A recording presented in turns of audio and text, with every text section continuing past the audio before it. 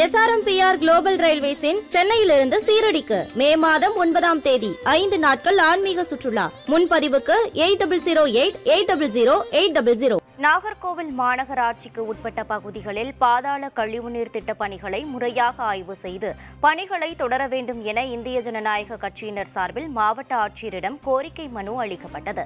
கன்னியாகுமரி மாவட்டம் நாகர்கோவில் மாநகராட்சிக்கு உட்பட்ட பகுதிகளில் கடந்த இரண்டாயிரத்து பன்னிரெண்டாம் ஆண்டு பாதாள கழிவுநீர் திட்ட பணிகள் ஒப்பந்த அடிப்படையில் தொடங்கப்பட்டன.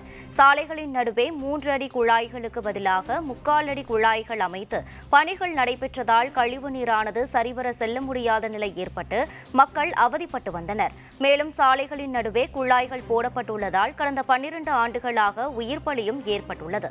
இந்நிலையில் சரிவர செயல்படுத்தாத பாதாள கழிவுநீர் திட்டப் பணிகளை ஆய்வு செய்து தொடர வேண்டும் என இந்திய ஜனநாயக கட்சியினர் கேட்டுக்கொண்டுள்ளனர்.